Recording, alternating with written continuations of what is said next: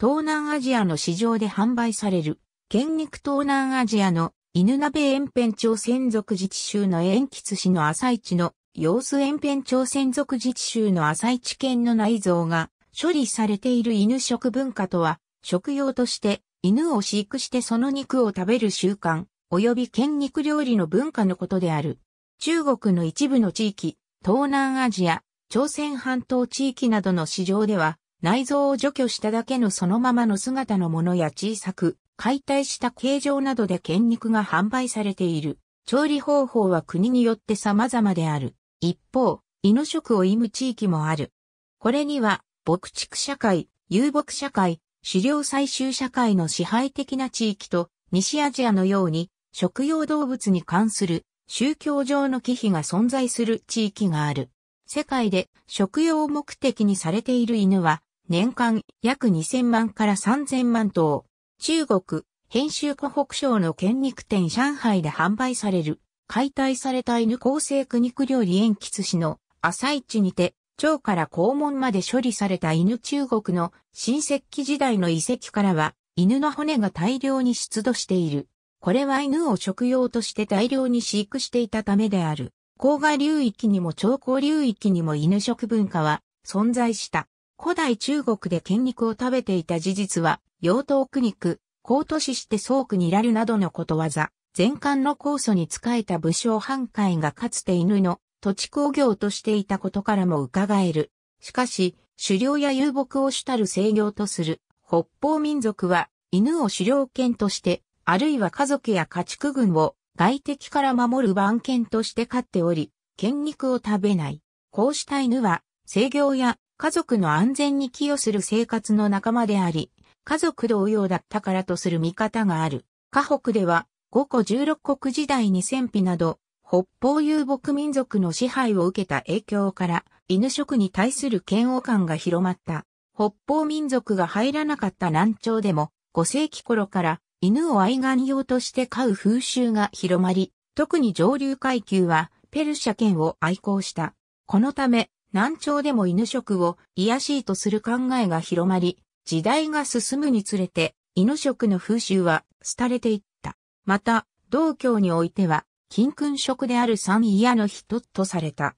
ただし、東大の本草項目にも犬の記載があり、全く廃れたわけではなかった。2014年現在でも中国東北部、南部では犬肉を食べる習慣があり、広東省、広西地湾族自治区、湖南省、雲南省、紀州省、チャンスー省等では、広く犬食の風習が残っている。チャンスー省拝見や紀州省赤霊県加工、吉林省延辺町専属自治州は、県肉料理で有名な場所である。地名にも養殖場があった場所として、犬場等の名が使われている場所が多くある。関東省甲州では、苦肉の隠語として、36や36高肉と呼ぶが、3プラス6イコール9で同音の犬を表した表現である。おおむね、シチューに似た煮込み料理に加工して食べられる。調理済みのレトルトパックや冷凍犬肉も流通している。一般に中国医学では犬肉には体を温める作用があると考えられているため、冬によく消費されるが、厚生地湾属自治区玉林市では、夏至の頃に国苦霊施設と称して犬料理と霊子を食べる行事が行われている。しかし、中国でも犬肉を食べることへの批判は年々強まっている。中国厚生地湾族自治区玉林市で犬肉を食べる伝統の犬肉祭りをめぐり、愛犬家、人気女優が反対しており、食文化だと反論する食堂などとの間で大論争となった。玉林市は10歩に1軒の犬肉料理店があると言われるほど犬肉食が盛んな地域とされており、県肉祭りだけで1万匹の犬が食用処理され、表通りでも犬を裁き、至るところに犬の死体が散乱しているなど、規模、残酷さで際立っているとされている。玉林市では、県肉とライチを食べる玉林ライチ県肉祭が1995年から開かれていたが、本物の県肉だと証明するために業者が客の目の前で犬を殺すため、愛犬家、著名人などから激しい抗議を受けるようになっていた。浙江省金華市では、県肉祭をめぐって世論の批判を受け、2011年に600年以上続いていた金華湖県肉祭が廃止されている。中国は2018年時点で世界で最も県肉の消費量が大きい国であり、世界で食用に殺される犬は年間2000万から3000万頭のうち1000万頭が中国で処理されているが不衛生や処理方法が国外で問題視されている。香港香港では犬食に嫌悪感の強い英国の支配を受けたため、犬は猫国条例により保護されている。現在も犬肉の流通が禁止されている。チベットチベットでは野菜の育ちにくい土地柄から羊や薬のほか、犬肉を用いた湯でソーセージが作られることもあるとされている。台湾、編集台湾では、香肉という呼び名で、香塚の食文化として犬食が存在していた。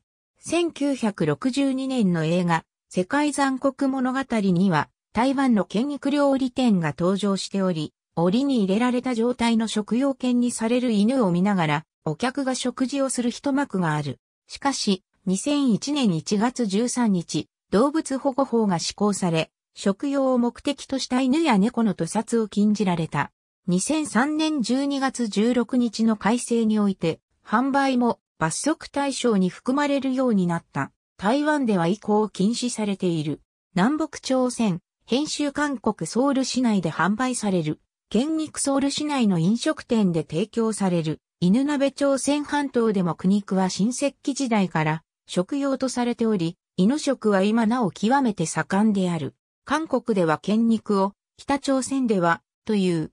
犬料理は、需要競争、勢力増強、美容に良いとされ、陰暦の夏至の日から立秋までの、カノエのつく日の三福には、犬料理を食べて、初期を払う習慣がある。韓国には、患者の手術後の回復のために犬肉を差し入れる習慣がある。犬市場としては、城南市のボタン市場が有名である。犬から作った犬焼き酒も飲まれている。黒犬には、自別効能があるとされる。かつて、朝鮮半島では人糞を犬に食べさせて飼育する風習があった。犬を人糞で育てる習俗はモンゴルにもあるが、ここでは逆にゲルの生員の糞を与えて育てた犬をゲル周辺を警備し、よそ者の侵入を防ぐ中堅として養育するという要素を持つ。また、食肉家畜を人糞で飼育するという概念自体は、中国や朝鮮半島のチェジュ島及び南方の沿岸地域にも見られた。沖縄では一部地域で戦後の一時期まで人糞での養豚が行われており、この飼育方法は中国において関代に広く行われたものが、後には沖縄に伝わったものと考えられている。韓国の県肉料理文化は、犬食の習慣を持たない国から問題視されることがある。韓国では、1988年のソウルオリンピック開催に際して、欧米諸国の批判をかわすため、犬食に対する取り締まりが行われたが、県肉料理を愛好する人も少なくないために、店舗名を変更したり大通りから裏通りへ遠ざけられて黙認された。2002年の FIFA ワールドカップの際には、FIFA が県肉を追放してほしいと韓国政府に要請してきたが、FIFA の副会長でもあるチョン・モンジュンは拒否した。2006年、韓国国務調整室が行った調査によると、年間200万頭の犬が食べられていた。2008年の調査によると、ソウル市内だけで530店の食堂が犬食を扱っている。違法のため、当局による衛生管理が行われておらず、社会問題化している。2008年4月には、ソウル特別指導局が正式に犬を嫌悪食品とする禁止令を撤廃し、食用家畜に分類する発表を行った。これに対し韓国国内の動物愛護団体が反発を強めている。動物愛護団体は、城南市で狭い檻に入り犬食文化の反対運動を行った。朝鮮半島では韓国だけでも数百万頭の食肉専用に改良された犬種で、あるヌロニーが牛や豚と同様の酪農家によって飼育されており、屠殺方法も電気ショックによるシステマチックな方法によるとされ、外圧による安易な犬食禁止は家畜として飼育されている。食用犬を無意に全滅させかねない行為であると批判する指揮者もいる一方で、本来では食用品種ではない犬種、時には野良犬や明らかに愛玩犬であったと思われる犬などが伝統的とされる撲殺などの残虐な方法で食肉に供されている例が今日でも存在すると主張する者もいる。なお、韓国の法制度では犬は家畜として扱われておらず、犬肉の流通、販売は違法でも適法でもない不明瞭な状態となっている。北朝鮮においては食糧難の中、数少ないタンパク源として犬肉は珍重されている。平壌観光のガイドブックには、朝鮮館肉店と記載され紹介されており、案内員に希望すれば、朝鮮館肉店へ連れて行ってもらうことも可能である。なお欧米の批判の影響を受けにくいこともあってか、平壌館肉店は大通りに面した場所にある。犬は残飯を与えても育つので、家庭で小遣い稼ぎに買われることがあり、中でも結婚資金を稼ぐために数頭の犬を飼う若い女性を犬のお母さんと呼ぶ。育った犬は自由市場で売買される。日本、編集戦士、古代、編集日本列島では、縄文時代早期から家畜化された犬が出現し、縄文犬と呼ばれる。縄文犬の主な用途は、猟犬とされており、集落遺跡などの土工底部から犬の全身骨格が出土する例があり、これを埋葬と解釈し、縄文犬は猟犬として飼育され、死後は丁重に埋葬されたとする説が一般的になっていた。しかし、1990年代になって、縄文人と犬との関係について、定説に再考を迫る発見があった。霞ヶ浦沿岸の茨城県浅尾町で発掘調査された縄文中期から後期の尾貝塚からは、犬の各部位の骨が散乱した状態で出土し、特に一点の犬の上腕骨には、解体痕の可能性が高い節痕が確認された。岩手県のタコの裏、貝塚など全国各地の遺跡から、狸だけでなく犬、狼、狐なども食べられていたことが判明している。弥生時代は、稲作農耕の開始に伴い大陸から豚やイノシシなど新たな家畜が伝来し、犬に関しても縄文犬と形質の異なる弥生犬がもたらされる。弥生時代は犬の解体遺棄された骨格の出土例の報告が多くなる。このため、日本に犬食文化が伝播したのは、縄文文化と別の特徴を持つ弥生時代からと見る意見もある。弥生時代に大陸からの渡来人が日本に伝来し、これに伴い大陸由来の犬食文化と食用の犬が伝来した可能性も考えられている。古代には日本初期天武天皇5年4月17日のいわゆる肉食禁止令で4月1日から9月30日までの間、稚魚の保護と護畜の肉食が禁止されたことから犬を食べる習慣があったことは明らかである。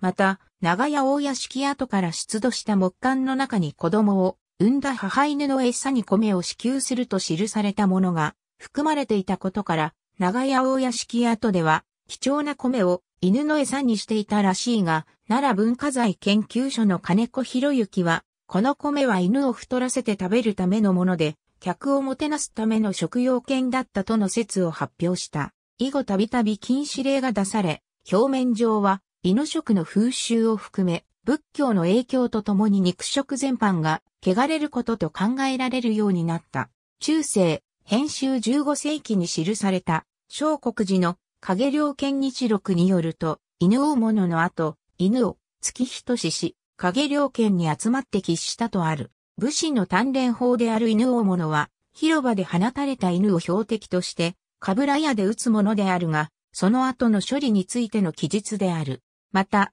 犬大物のための犬は専用に飼育されていたとは限らず、多くは町内や市内といった人間の生活空間の中にいた犬を捕獲することで賄っていたらしく、それを制御とする専門集団や独自の道具まで存在していた。また、竹内木には、播磨、美作など山梨両国で三名一頭は狩猟を好んで田畑を踏み荒らし、犬を捕らえ終日犬をい物をい、あるいは犬を殺してその肉を食すという記述もあり、犬を撃ち殺して食べる習慣があったことを伺い知ることができる。宣教師、ルイス・プロイスは日曜文化比較で、ヨーロッパ人は貧経やうずら、パイプラモンジュなどを好む。日本人は野犬や鶴、大猿、猫、生の海藻などを喜ぶとあり、また、我々は犬は食べないで牛を食べる。彼らは牛を食べず、家庭薬として見事に犬を食べるという記述がある。近世、編集江戸時代に入ると、犬食は武士階級では禁止されたが、庶民や武家の奉公人には食されていた。17世紀の料理物語には犬の吸い物を紹介する記述がある。18世紀の落ち穂集には江戸の町方に犬はほとんどいない。武家方町方ともに江戸の町では犬は稀にしか見ることができない。犬がいたとすれば、これ以上のうまいものはないと人々に考えられ、見つけ次第撃ち殺して食べてしまう状況であったのである。としている。このほか、家光の治世時代に出された会津藩下四十記では、他人の飼い犬を殺すことを禁じる法令について書かれているが、これは歌舞伎物が犬食を好んだことへの対策とされている。徳川綱吉が出した生類やアレミの例の時期に犬食文化は衰退したとされる。明石城武家屋敷跡内のゴミの穴からは刃物による傷のある犬の骨が発見されている。また、岡山城の発掘時には食肉獣の骨の中に混じって犬の骨も出土しており、体の一部分のみ多数出土したことから、埋葬ではなく食用であった可能性がある。鹿児島には、エノコロメシという犬の腹を裂いて米を入れ蒸し焼きにする料理法が伝わっていた。薩摩にては、犬の子を捉えて腹を裂き、臓腑を取り出し、その後をよくよく水にて洗いひすまして後、米をかしぎて腹内へいる収め、針金にて固くくりをして、そのままへっついの焚き火に押し入れ焼くなり、納めをきたる米よく蒸して、飯となり、その色きやかなり、それを、そは、節料理にて、汁をかけて食す、人美味なりとぞ。ぜを方言にては、絵の頃飯というよし。後期の人食するのみならず、薩摩港へも進む。ただし、港の食に蜜るるは、赤犬とおよるというヘリア犬社会では、犬の飼育は農業の一部であり、明治政府による同化政策以前は食料、被服の材料、労働力として利用されていた。近代以降、編集戦中、戦後の食糧難の時代に犬を食べたという証言、報道は多数ある。中堅、八甲の子孫が盗まれ、鍋物の具になったと、当時の新聞報道が残されており、北海道の浦川でも、アイヌ、和人か変わりなく、冬の食料不足の時期には犬を食べたという証言もある。また畑正則はエッセイ、続々ムツゴロウ博物誌で東京大学駒場寮で飼っていた犬が保険証送りになりそうになり、殺されるくらいなら食べようと寮生で鍋にしたエピソードを紹介している。しかし現代の日本では犬はもっぱらペットとして愛玩される対象であり、食べるという習慣は全く一般的ではなく、完全に風化した状態である。一方、食用犬の犬肉は現在でも輸入されており、2008年の動物検疫による輸入畜産物食肉検疫数量によると、中華人民共和国から5トン輸入されている。これらの犬肉は、主に中国、朝鮮系の移民を中心に需要があり、大久保、御徒町、イカイアなどのコリアンタウン、池袋等の中国人が集まるチャイナタウンなど、一部アジア系料理店で提供されており、日本人も食べることができる。2005年12月に東京都足立区に住む韓国籍の輸入販売業の男が韓国料理店等に卸す予定で中国大連から頭と胴体が切断された冷凍状態で食肉用として輸入し、胴体は食用として売れたが精力剤などに使う頭部が売れ残ったため処分に困り、東京都葛飾区の東京高知署の北側にある水路に大量に不法投棄して逮捕され、世間を騒がせた。日本で犬食が存在したこと自体が話題になるほど、犬食は現代日本では稀な習慣とみなされている。戦術の剣肉を提供する料理も一種の下手物とされることが多い。また、日本の楽器である三味線には、種類により犬の皮が貼られることがある。この傾向は、太竿種の三味線では、ごく当たり前のことであり、実際に温室面、耐久性ともに犬の皮が適している。これらに用いられる犬の皮は、本来は国内で土畜された犬を使用していたのだが、現在の日本国内では、犬猫の土畜に従事する業者が、ほぼ存在せず、また演奏家や職人の要求に応えられるような犬種も国内では手に入りにくい。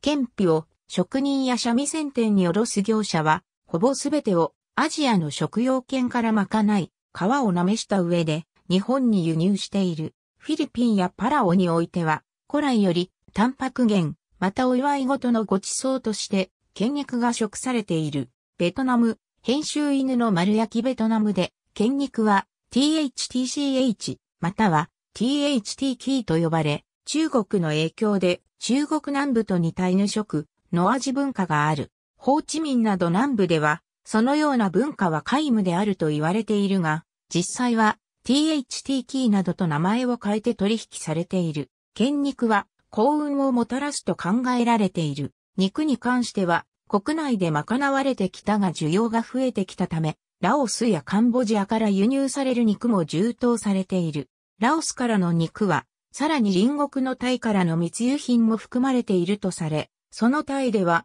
飼い犬がさらわれて多数犠牲となっていることから問題視されるようになった。タイからラオスに向けた密輸出量はタイの獣医師団体によって年間50万頭と推定されている。犬泥棒も増えており、盗んだ者が憤慨した群衆に殺された事件もある。風国島では希少種である風国犬が食べられることもあった。バリ島、編集バリ島では、古来より大型野生動物が少なく、犬は貴重なタンパク源として食されてきた。カンボジア、編集カンボジアでは、犬の肉は安価なタンパク源として低所得者層に人気がある。動物愛護団体、フォーポーズの推定では、カンボジアでは年間200万から300万匹が食肉処理されているという。カンボジアでは医療品工場の月給が200ドル未満なのに対し、原肉の供給業者は750から1000ドルを稼ぐなど待遇が良い。ただし、カンボジアは世界でも人の狂犬病の感染率が高く、政府の監督が行き届かない、原肉処理場の業者は常に犬に噛まれる危険にさらされている。また、肉の処理場は不衛生なことが多く、病気に感染している犬肉が全国に出回る可能性も指摘されている。野良犬を食べるというのは逸脱的とする見方もあるが、アジアでは広く集落や都市内で反飼育、反野良的に犬の群が人間社会と共存関係にあり、廃棄物処理、よそ者の侵入の警告の役割を担っている状態がかつては普遍的に見られた。こうした犬群の一部が食用に用いられた。ポリネシア、ミクロネシアの島々では、犬は豚、鳥等と共に人間が植民する過程で持ち込まれたものである。ヨーロッパ人との接触依頼犬を食用としており、現在も食用家畜として使用しているところが少なくない。ただしウミガメや魚類よりその価値は低いとされる。多くは祭りなど晴れの日の料理としてバナナやタロイモなどの葉に包んで地中に埋め、熱く焼いた石で蒸し焼きにされる。ハワイの民族料理として知られるカルアピックは、この調理法を豚に置き換えたものである。西暦900年頃にニュージーランドへたどり着いたマオリ人が連れてきたヌクリは、猟犬や番犬としてだけでなく、かつては神聖な料理に用いるために食用とされていた。栗は肉だけでなく骨や皮などすべてが狩猟道具や衣服、アクセサリーなどに利用され、余すことなく使われた。これはマオリ人が命を犠牲にした国に対して限りない感謝を表すための風習であるとされている。現在は絶滅寸前の犬種であるため、食用には用いられていない。北米のインディアン民族は、コモンインディアンドッグをはじめ、独自の労働権を刺激し、食用ともしてきた。数族の唯一の儀式など、犬食が重要な意味を持つ儀式も多く、現在もこれらは行われている。中南米には食用にするために育成されてきた犬種が多く存在する。アステカ帝国やマヤ、ペルーなどがその例である。日常食として食べられるものや緊急食として蓄えられたもの、儀式の際に神聖な料理に使われたり主人と埋葬するため生贄として使われたものなどがある。また、はじめは戦争の開始を知らせるための犬頭笛に使われたり、主人の死の際に棺に入れられ生贄にされたり、食用にされるのに使われていたものの、すぐに別の民族にペットとして飼育されるようになった犬種も存在している。古代にはギリシャローマにおいて増殖されていたことがわかっている。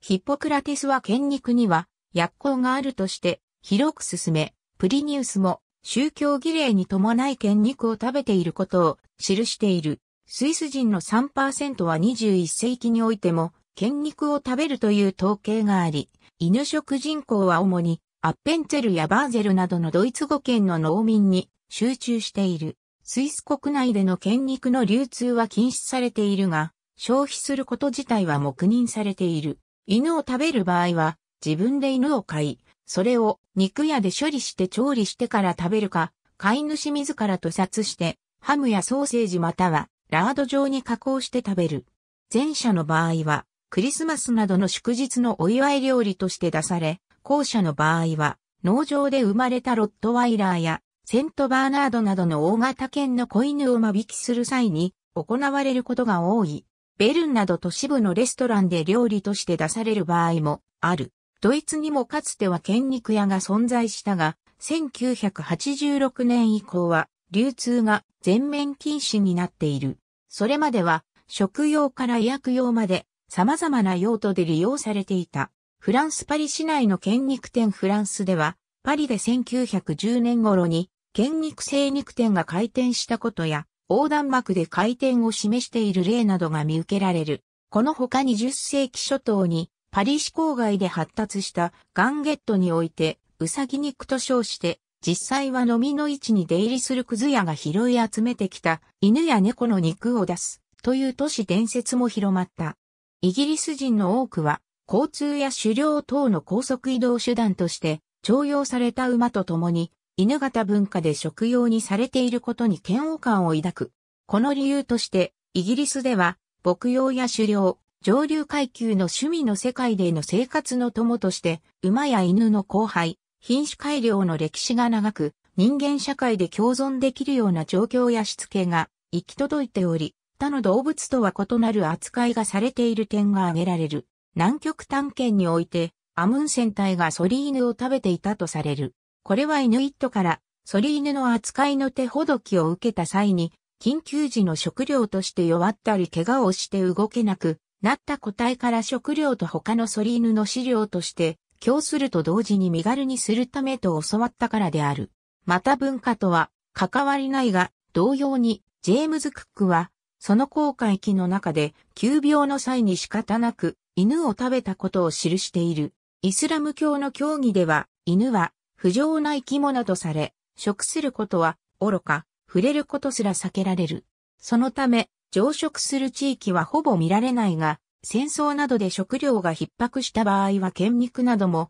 食されることがある。危機的状況になると、イスラム法学者が犬などを食べても良いとするファトワーを出すこともある。犬を仕事仲間やペット、有能な動物と考える見方が強い現代のヨーロッパ圏などでは、犬食文化は下道なものであると意味嫌われている。欧州での犬食忌避はイギリスに顕著である一方で、大陸諸国では伝統料理に犬肉を用いるものが複数ある。欧州は牧畜文化であり、犬が有志以前からパートナーであったため忌避されたとの建設もしばしば見られるが、欧州地域の歴史は麦作以降に形成されてきたものであり、これには史実上の根拠はない。一方で、近世まで純放牧生活を続けてきた中央、アジアモンゴル地域において、犬を重要な生き獣として食料にしない傾向がある。